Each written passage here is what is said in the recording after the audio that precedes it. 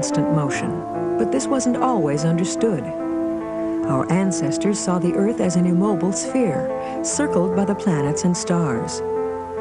Astronomers of the Renaissance brought a new perspective. It wasn't the sky that turned, it was the Earth, joining the other planets in an endless promenade around the sun. But this revelation brought new questions. If the Earth moves, then why does it seem to be motionless? Why aren't we flung into space as it spins beneath us?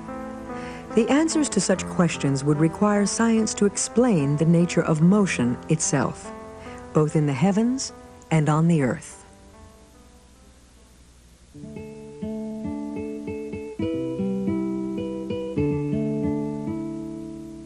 One of the first great thinkers to consider the properties of motion was the philosopher Aristotle in the 4th century BC.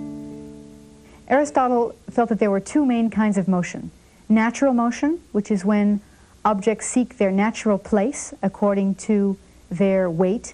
In other words, earth is heavier than water, which is heavier than air, which is heavier than fire, and therefore earth that you lift up, a ball will always fall down, seeking its natural resting place.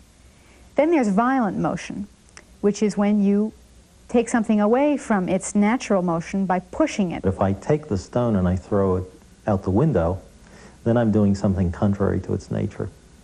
And Aristotle thought that what made the stone move was the force of my hand pushing it forward, and when it left my hand, the stone pushes the air in front of it, and then that air in turn rushes around behind the stone and pushes it further, so that the air um, eventually uh, exhausts itself and the stone once again resumes its natural motion down. Aristotle's ill-conceived concept of motion lasted almost 2,000 years, until Galileo arrived to challenge this venerated authority. On the science of motion, Galileo is really a pivotal figure. You can see how he evolved from the medieval theory of impetus, which he was taught by the Jesuits at the Collegio Romano in the late 16th century, to an early notion of inertia, an inertial motion. Imagine that I have a large, heavy weight in this hand and I have a light, uh, a smaller weight in this hand, and uh, I drop them at the same time together. Aristotle tells you, Aristotle tells you that the heavier body is going to land first. Galileo, what he discovers through his work with inclined planes is that the two weights, regardless of their differences in size, their color, their texture, their shape, land on the ground together. And that in falling down freely, they accelerate at exactly the same rate. So we have a constant of acceleration. Guess what we just found? In 1971, Apollo astronaut David Scott staged a dramatic recreation of Galileo's famed experiment.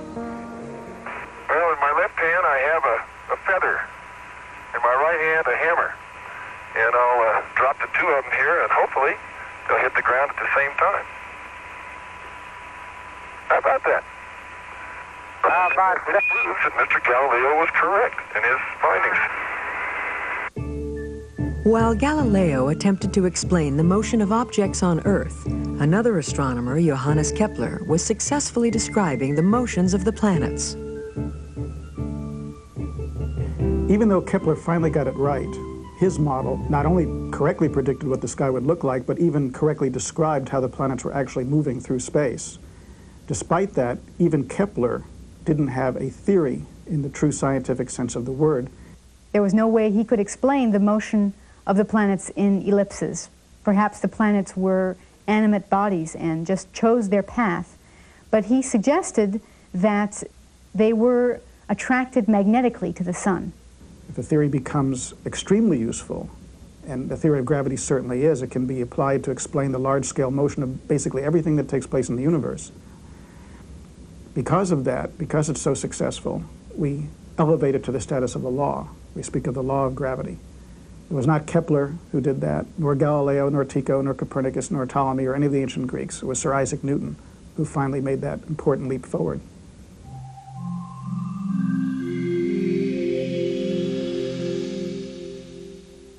Isaac Newton was a very complex man. He probably would go down as one of the three leading mathematicians of all time.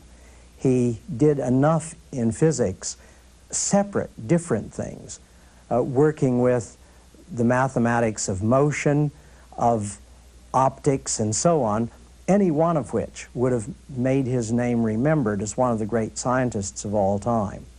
He was enormously industrious, clearly capable of uh, unusual degrees of concentration, kept uh, uh, scrupulous notes on all of his reading. Newton has available to him, even at the time that he goes up to Cambridge as a young undergraduate in 1661.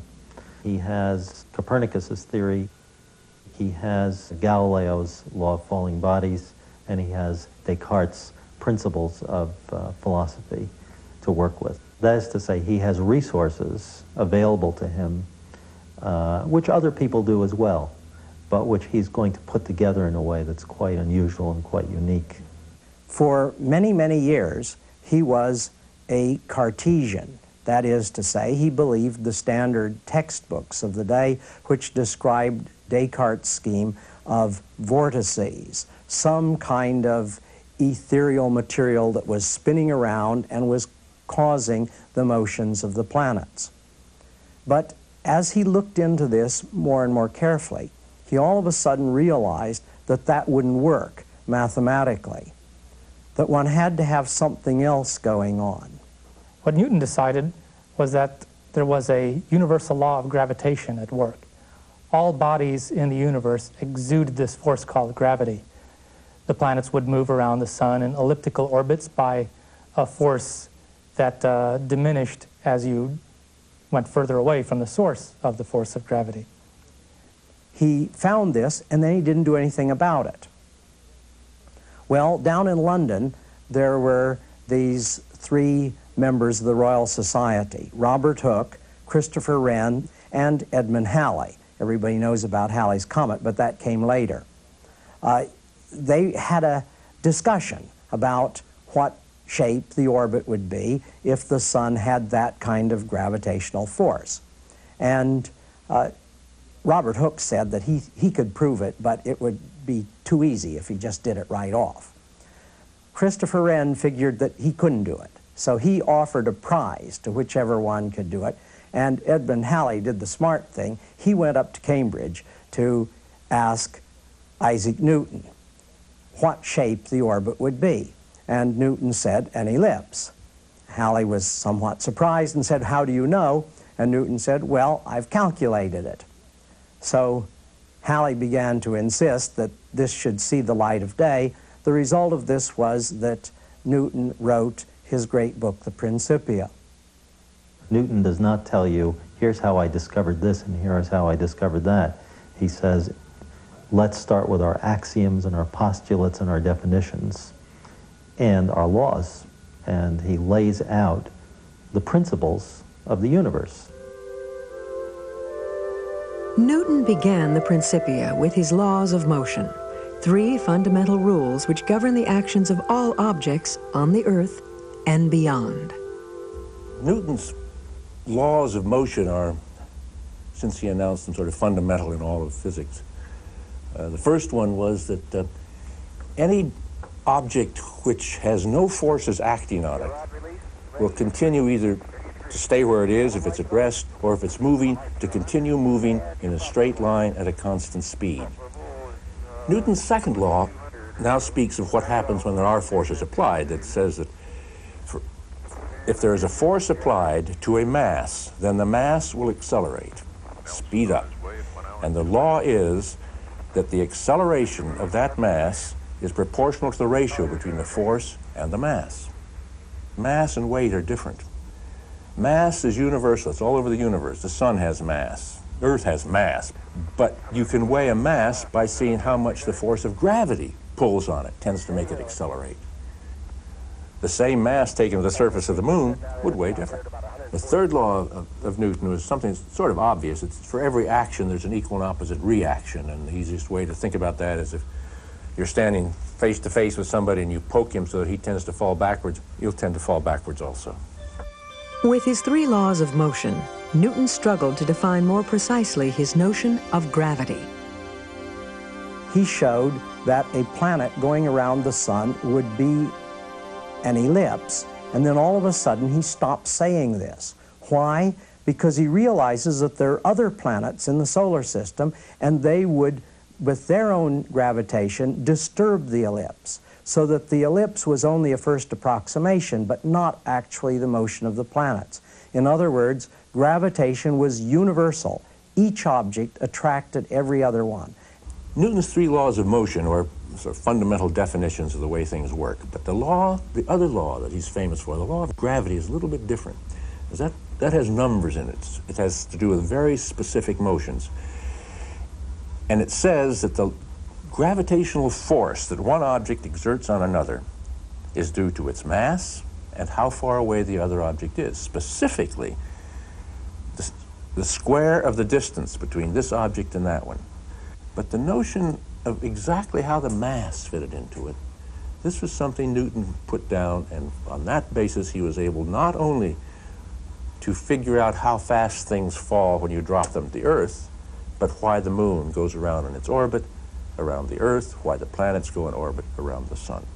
One of the very important figures used in describing uh, Newton's laws of gravitation is the one where a projectile is shot off the top of a mountain and it lands to Earth. But if it's shot off with enough force, it keeps going farther and farther until it hits the Earth. And finally, if you shoot it with enough force, by the time the projectile curves and falls down to Earth, the Earth itself has, because of its curved surface, fallen away too. And the projectile just continues to fall around the Earth. And this, in essence, explains today what uh, causes satellites to orbit the Earth. Although Newton precisely defined the effects of gravity, he did not explain the causes.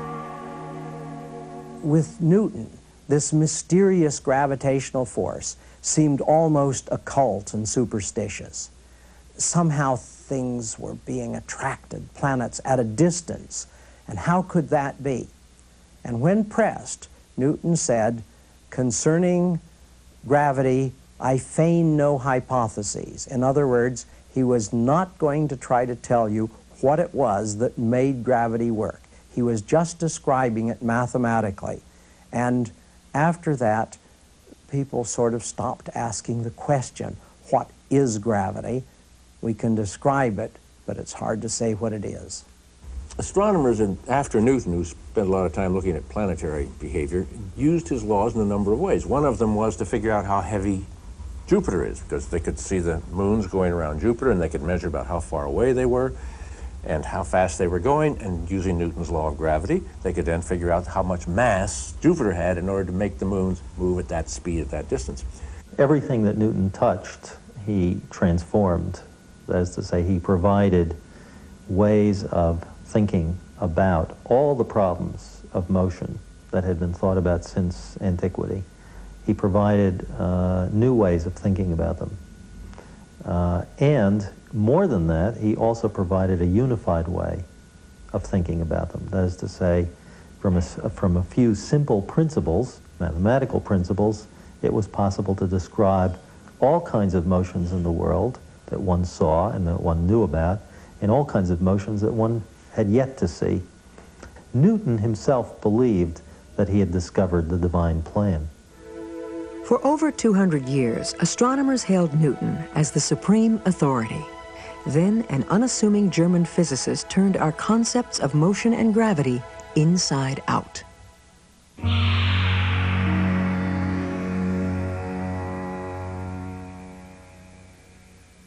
I like a quotation from uh, uh, the late, late Jacob Bronowski, who said that at the end of the last century it seemed that there were no more great physics problems to be done. And then suddenly the world came crashing down about our ears. The reason? Because Einstein showed a totally new way of looking at gravitation. Newton's laws of motion describe how things work on Earth very well. But when scientists started developing uh, technologies to look at space, technology to look at much smaller things, atoms and particles like that, Newton's laws break down. They don't work. Newton's laws of motion explained everything except when electrons started moving at high speed through electric fields, and it didn't work so well. Instead of throwing them out, there was a German mathematician named Lorentz who said, well, if we, we have this gimmick, what we'll do is we'll figure out that the measurement of lengths and times are changed for things moving at high speed. And If we make our calculations that way, then everything works again. Nobody liked this because it was a bit of a gimmick. You sort of fool yourself into doing this other calculation. Einstein took that over and said, this is no gimmick. This is a fundamental law of the universe. One of the most remarkable things about Albert Einstein was that he not only gave us theories of physics, but he gave us laws that theories must obey. This is something that almost nobody else has ever given to us. He told us that any theory of physics or any set of uh, physical laws in the universe must have the following property. Suppose that I do an experiment. I do the experiment here in the laboratory, for example, to measure the speed of light. Suppose that I then go and do the same experiment in some other laboratory in a rocket ship, say, moving at a very high speed past the Earth. I do identically the same experiment, I must get identically the same result. So, to Einstein, the laws of physics must be the same everywhere, even for an observer in constant motion. When you say constant motion, you say constant compared to what? You can't say constant compared to the surface of the Earth because the Earth is moving, rotating. If you say constant motion compared to the center of the Earth, well, the Earth's going around the sun. And you can't say constant motion compared to the sun because it's moving around the galaxy and the galaxies are moving around each other. This was what Einstein called the principle of relativity, and it was a principle that must be obeyed by all experiments, all laws of physics. That all the laws of physics, the results of all experiments, must be independent of the reference frame in which one performs them, independent of the motion of the laboratory in which one performs them or in which one uh, measure, studies the laws of physics. Einstein took that over and said, this is no gimmick. For every experimenter, the speed of light is the same. That seems like, well, so what? Well, what it means is, if you have two rocket ships approaching each other at very high speed, and one sends out a little pulse of light and measures its speed as it leaves his rocket ship, and the other sees the pulse of light coming toward him, and the rocket ship's coming toward him too, and measures the speed of light, you'll get the same number. How can this be? This rocket ship's going toward him at high speed, then there's the speed of light on top of that, and then the speed of this rocket ship going the other way. It should compound itself so the second guy gets a much higher speed. He doesn't. He gets exactly the same speed. That postulate has a tremendously important consequence. The consequence is that the nature of space and the nature of time are completely different from the way that Newton or Galileo or any previous uh, person ever conceived them. Space and time become personal things as a consequence of this postulate. They are dependent on you and your motion. One aspect of that is the famous twins paradox, that if I get in a rocket ship and I travel at very high speed out into the universe and then return to Earth, and my twin remains on Earth, I will age physically by much less than my twin does. If I carry with myself a high accuracy atomic clock, it will tick by much less than a twin atomic clock here on Earth. The theory of, of uh, special relativity says that for things that are moving very fast, their clocks should run at a different speed than for us who are looking at them moving very fast. And one example has to do with a particle called a muon. When a cosmic ray hits the top of the atmosphere and runs in the nucleus of an atom, it often causes a big spray of particles to come out, some of which are muons. And the muons then, many of them head right down to the surface of the Earth, and they make it, but they shouldn't, because we know how fast they're traveling, and we know what the lifetime of muon is. It falls apart into other particles in a very short time. Supposedly, it doesn't have enough time to get all the way down to the surface of the Earth, and yet it does, because it's going so fast its clock is running slow. So this is a proof of Einstein's theory. Another very important consequence of Einstein's relativity postulate is the equivalence of mass and energy. The fact that mass is merely a particular form of energy. Mass, heat, uh, electric uh, energy, uh, these are all different forms of energy, different forms of the same thing, and they can be converted back and forth one into the other. This, of course, is the foundation for uh, nuclear energy, for the atomic bomb, the hydrogen bomb, for thermonuclear energy generation, uh, uh, generation of electricity uh, in nuclear power plants. After he stunned the world of physics with his special theory of relativity, Einstein worked to develop a more general theory that would explain the nature of gravity. The basic principle that Einstein used in developing the general theory, which has to do with accelerating bodies, was this.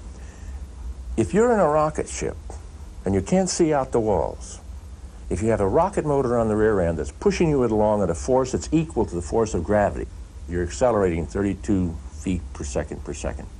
If you're doing that, or same rocket ship, sitting on the surface of the Earth and not moving, you can't tell the difference because you're being pulled down to the floor by a force equal to the force of gravity, whether it's rocket motor pushing you or the Earth pulling you down against the surface. Einstein said, okay, since there's no difference, they must be equivalent. So acceleration and gravity have to be somehow equivalent.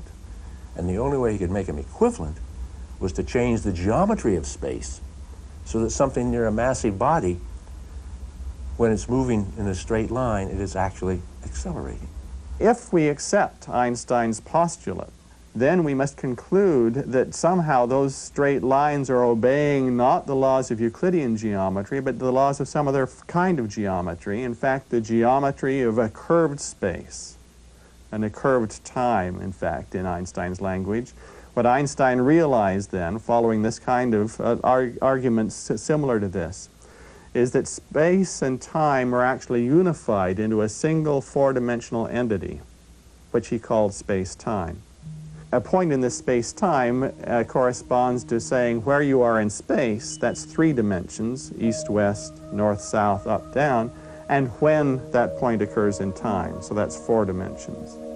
With his concept of curved space-time, Einstein went far beyond Newton's simple description of gravity.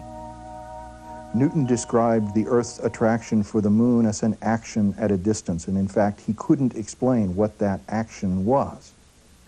Einstein described gravity as a distortion of space-time. The mass of the Earth curves space-time around it, and the moon responds to that curvature by being accelerated toward the Earth. So Einstein's description of gravity has built into it an explanation for what gravity is, a curvature of space-time. And ultimately, in late 1915, he devised his Einstein field equations, as they are called, is Einstein equations that describe how matter itself curves space-time.